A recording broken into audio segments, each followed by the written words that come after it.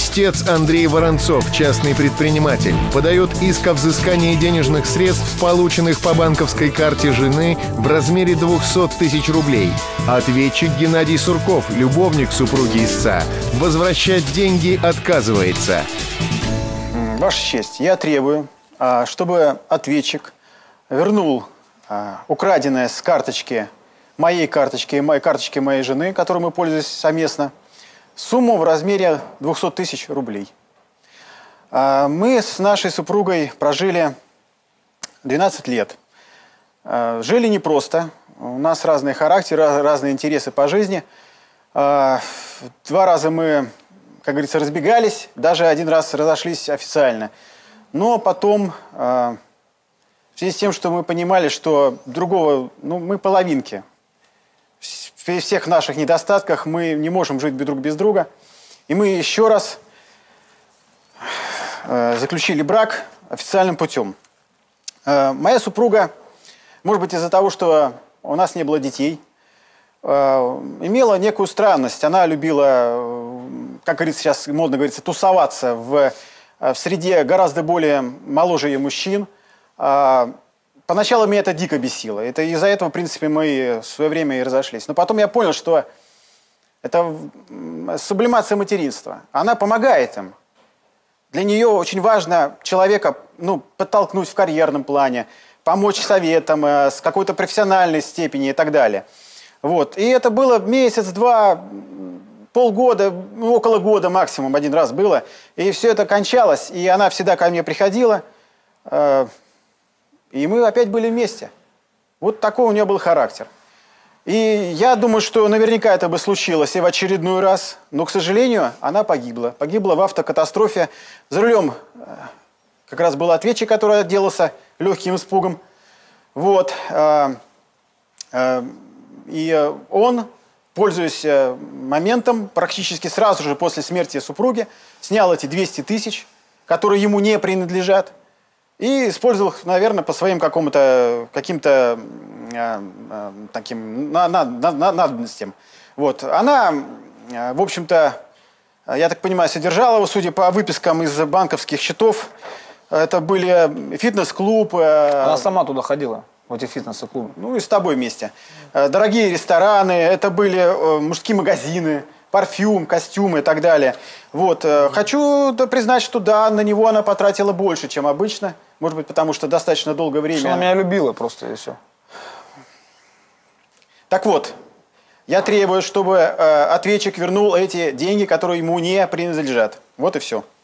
Скажите, пожалуйста, истец, а, а, как вы пришли к выводу, что именно ответчикам были сняты деньги с банковской карты? Они поехали на отдых в Крым, на Украину, там разбились. И э, я, я, честно говоря, даже не знал об этом. Вот, то есть я узнал о смерти жены именно после смерти. Я поехал, забрал тело, потому что я законный супруг, и э, свидетельство о смерти, и все расходы по перевозку тела перевозки тела на родину и все э, расходы на э, кладбищенские вот эти вот дела, э, все это на моих плечах. Вот. А он даже на кладбище не явился. Нет, нет, истец, я сейчас говорю конкретно об этих 200 тысяч. А, ну, Вы да. утверждаете, то есть... Карточка была с ней. Карточка была с ней, и э, он снял эти деньги. Нет, а вот меня интересует, как вы поняли, что именно ответчик Можно снял эти деньги? Нет, подождите сейчас, одну секундочку. Вот как вы поняли, что именно ответчик снял эти Потому деньги? Потому что, э, да, значит, э, в заключении о смерти была э, точная дата и время. Время вы имеете Да, время, время, да. 14.35, насколько я помню. А последняя банковская выписка, где вот точно вот эта сумма, которая была остаток, был обнулен, счет обнулен, 15.00. Будьте добры, пожалуйста, мне выписку из счета о движении денежных средств, э, свидетельство о смерти, э, заключение о причинах смерти, свидетельство о заключении брака через судебного пристава. Будьте добры, пожалуйста. пожалуйста. Я вас слушаю, ответчик. Ваша честь, я с иском не согласен. А, я сейчас расскажу вам а, историю, что произошло, как это все было. А, мы действительно познакомились с Надей и влюбились друг в друга. А, этот человек, он а, не тот человек, который нужен был Ответчик, Надежде. будьте добры, пожалуйста. Меня да. не интересует ваша, зре... ваша точка зрения угу. в оценке истца. Будьте добры. Вот, пожалуйста, вы воздержитесь. Истец для меня э, человек, который состоялся погибший в официально зарегистрированном браке. Он является ее наследником. Меня не интересуют его морально-нравственные характеристики. А, хорошо. А, э, как я, я повторюсь, то, что мы любили друг друга, да, у нас а, строилась семья, мы вместе жили. Так, скажите, пожалуйста, а, покойная производила а, траты, ну, предметы мужского обихода. Это для вас покупалось? Да, у меня был день рождения, она решила сделать мне подарок. Понятно. А, У вас день рождения был каждые два раза в неделю? нет, она просто, ну, э, Просто, делала мне понятно. подарки какие-то, да. Будьте добры, пожалуйста, скажите, вы работаете? Да. Кем? Я продаю машины. Продаете машины. Ваш заработок? Ну, Ну, примерно. ну, как продам машину, там, тысяч Как продам 40, машину? 50. Так, то есть он не носит выручка. никакого стабильного характера? Нет, ну, Мгм, да. Понятно. А, Скажите, пожалуйста, вот по этой выписке, которая представлена, а, значит, э, покойной было потрачено с промежуток за, ну, умозрительно за 4 месяца 2 миллиона а, 600 3 тысячи 846 рублей. Ну, значит, Это так. расходы на вас? Нет, почему мы вместе тратили эти деньги? Вы вместе тратили эти Да. да. Благодарю вас. Итак, поясните тогда, пожалуйста, суду разницу между э, временем смерти в 14.35 и выпиской из банкомата о снятии денег в 15.00. А, когда мы попали в аварию, да, мы находились вообще в другой стране. А, соответственно, у нее медицинского полюса не было, ее не могли там а, оперировать, ничего с ней делать не могли а, в этой стране. И пришлось платить деньги. Я платил деньги со своего кармана, платил деньги за обследование ее, я давал взятки врачам, потому что так бы ее не стали там содержать. Вот. Она лежала в коме, да, я сидел, проводил просто ночи э, напролет с ней, сидел, э, находился с Послушайте, ней. ну ответчик, ну Да. вы как-то, ну нельзя же, ну есть, это же даже не точка зрения истца, но есть официальные документы, 14.35. Сейчас объясню. Это время смерти. 15.00 вы снимаете деньги. Она перед смертью а, вышла из комы. А, Я потратил все свои уже сбережения, а, которые у меня были. Я звонил друзьям, мне высылали деньги по банку, а через банк.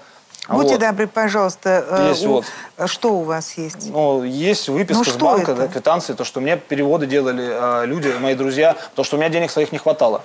а, на Тогда э, скажите, нахождение. пожалуйста, у вас денежные средства, которые, как вы утверждаете, вы платили на взятки врачам, вы откуда их? Вот у вас были наличные? У меня что? наличные с собой У вас были были деньги, да. наличные, понятно. И сколько денег вам перевели?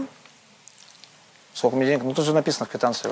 Ну, вы мне не, не, не, по- не сочтите за труд. Скажите, пожалуйста, сколько денег вам перевели? Это же вы же ответчик, а не я, правда? Денег-то сколько вам перевели? Здесь написано 6500. Это именно та сумма, которой не хватало для, для, лечения. Ну, не хватало, да, но я же ну, не могу взять у врачей а, квитанции а, о взятке. Они Да не нет, дают- ну не дают. простите меня, пожалуйста, если услуги оплачиваются на платной основе, заключается договор. Ничего Вы там если- не заключалось, и как бы... Ну, она- ответчик, это ваши проблемы. Заключается договор, если вы в другой стране, без страховки, и без э, того, что вы выезжаете на территорию другого государства э, и не э, приобретаете страховой полис отдельный. Ну, я, опять же, я же не могу сказать, это ваши проблемы. Но это ваша позиция определенная, жизненная. А Вы на территорию Украины приехали? Да. Ну, я, позвольте, вам не поверю в то, что вы говорите, потому что на территории Украины э, медицинские услуги а, платные иностранным гражданам оказываются на основании договоров, которые ну, нам сказали то, что ничего не будет оплачиваться, и ну, полиса нету. И как бы, ну, я не сказочник, я говорю, как было. Зачем мне врать? Ну, так скажите мне, пожалуйста, я все-таки не понимаю. Вот э, момент смерти зафиксирован 14.35, а деньги вы сняли в 3 часа. Я ушел а, от Надежды именно в половину третьего. Я в полтретьего ушел, она была жива. И до банка идти полчаса пешком. Я пока дошел до банка, снял деньги, пришел обратно. В это время она умерла. Так, э, у вас квиточки на Да, есть 6500, всё, да, через судебного пристава. Передайте, пожалуйста. Так. Суд удаляется для принятия решений. А теперь вернемся в зал суда. Суд оглашает решение, принятое по делу. Суд, заслушав исковые требования ИСА, возражения ответчика по заявленным исковым требованиям, рассмотрев представленные документы и доказательства, заявленные исковые требования удовлетворяет и взыскивает с ответчика в пользу ИСА денежные средства в размере 200 тысяч рублей. Суд удовлетворяет заявленные исковые требования, потому что данные денежные средства входят в состав наследственного имущества, принадлежавшего умершей, так как на момент ее смерти они находились на ее денежном счете. Даже если умершая в устной форме предоставляла ответчику право на снятие денежных средств с ее счета, то с момента ее смерти это право прекратило свое действие. Истец, как муж, является единственным наследником по закону умершей, за умершей женой. Поэтому в порядке наследования по закону у него возникло право собственности на все имущество, принадлежавшее умершей, в том числе и на денежные средства, в соответствии с правилами части 1 статьи 1142 Гражданского кодекса Российской Федерации. При этом суд хотел бы разъяснить, э, что Э, вы, ответчик, праве взыскать с истца, как с наследника умершей, понесенные вами расходы, связанные с предсмертной болезнью умершей, если вы располагаете соответствующими письменными доказательствами. Если у вас есть письменные доказательства о понесенных вами расходов на лечение, на пребывание умершей в соответствующем поликлиническом или учреждении или больнице, если вы сможете это доказать, вы можете взыскать это с истца. Но в этой ситуации, э, поскольку доказать, что Э, вы получили какие-либо устные разрешения или разъяснения или пожелания, э, вы не можете. Э, разница между снятием вами денежных средств и зафиксированным моментом смерти означает, что с момента наступления смерти какие-либо устные распоряжения прекратили свои действия, даже если они были. И в этой ситуации истец единственный наследник в первой очереди за имуществом умершей. В этой же, при том, что у них единый банковский счет, просто несколько э, карточек, которые являются средствами, э, так сказать, ну, будем так говорить, средствами оплаты в определенной степени, а не равнозначно самому банковскому счету, то, следовательно, указанные денежные средства вообще относятся к совместно нажитому имуществу. И поэтому истец изначально имел право на половину этих денежных средств как супруг, и вторая половина является наследственным имуществом. Поэтому и ответчик вы обязаны э, возместить истцу 200 тысяч рублей. Истец и ответчик, суд огласил свое решение, дело закрыто. Решение суда. Исковые требования удовлетворить. Я почти год содержал любовника своей жены, а он после ее смерти еще захотел меня обокрасть. Нормально? От нормальных мужиков жены не гуляют. А я не понимаю, почему я должен возвращать эти деньги. Я их потратил на любимую женщину. Была бы Наденька живая, она бы это доказала.